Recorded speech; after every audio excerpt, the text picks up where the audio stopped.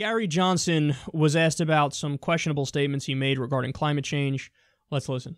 Uh, you've said you're for free markets, you're against government regulation. And, th- and this week, a, a, a, comment circulating you made in 2011 where you said we have to think about climate change as a long term issue. And here's what you said I think that we should. And the long-term view is, is that in billions of years, the sun is going to actually grow and encompass the earth, right? So global warming is in our, in our future.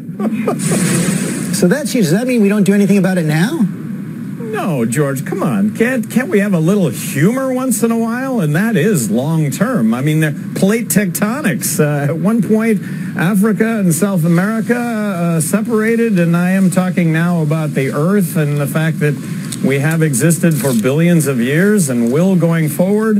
Uh, look, what it points to also is the fact that we do have to inhabit other planets. Uh, the future of the human race is uh, is space exploration. So no, that we should be prudent with the environment. We care about the environment.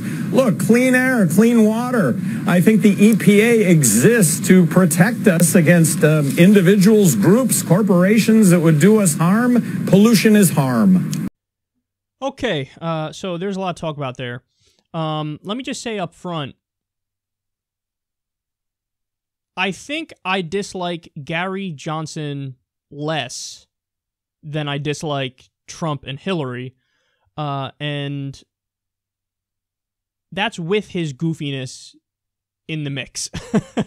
so I do think he's a, he's a little bit like aloof and weird and disconnected and a little goofy, but um, I mean Trump and Hillary are so bad, so bad in so many ways that you look at a guy like Gary Johnson and you're like, all right, what are we gonna do? All right, so I, I don't have any like upfront disdain for Gary Johnson. Again, I think he's a little bit a little weird.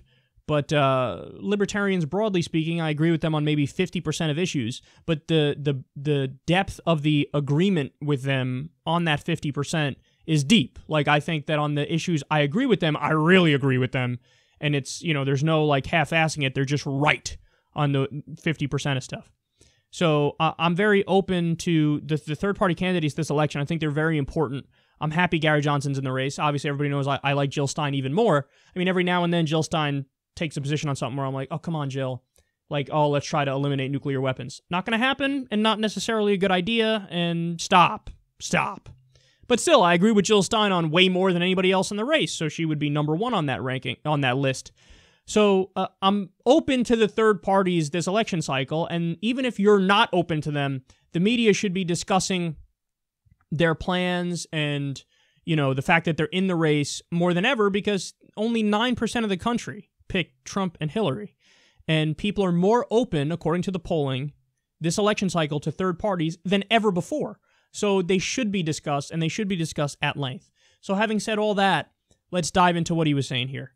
Okay. I, I had never seen those older comments where he said, oh, well, climate change. Well, sun's going to take over the earth at one point, so what are you going to do? Dude, that's the most ridiculous thing I've ever heard.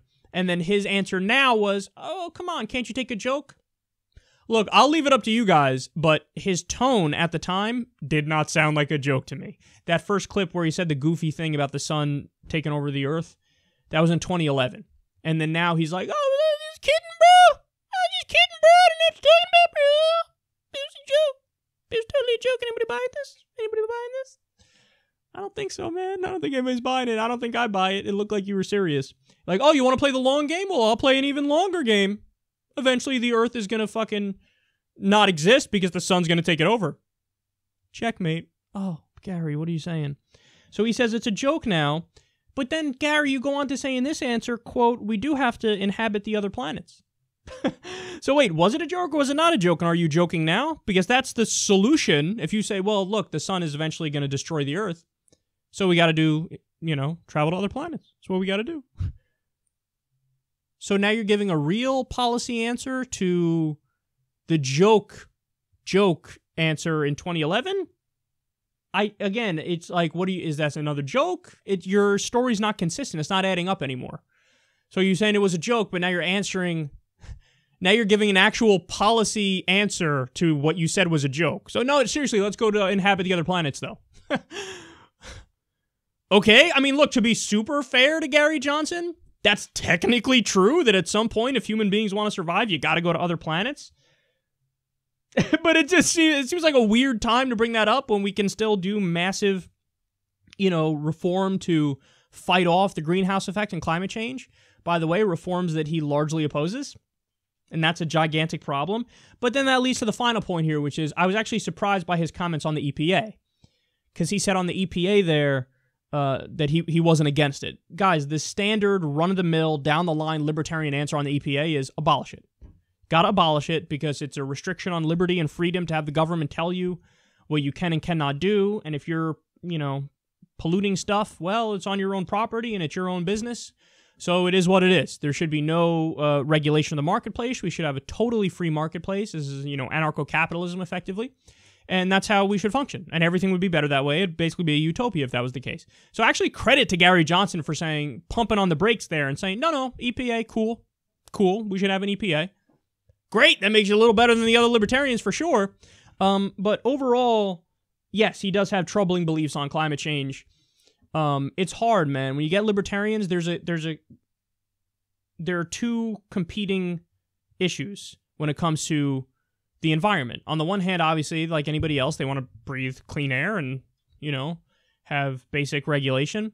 But then on the other hand, their stance against regulation is so strong and so strident that some some libertarians do all these kinds of rationalizations to try to say, no, there's no reason to regulate the marketplace because all that other stuff is made up. So that's why you see many libertarians who are climate change deniers, for example, and many libertarians who, you know, downplay the effects of pollution because that's the only way they can hold pure to that ideology of all regulation is bad, is to say, no, seriously, there's no need for it.